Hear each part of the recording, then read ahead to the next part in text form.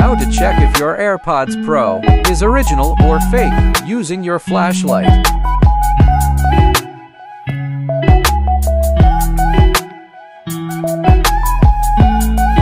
This is the fake one.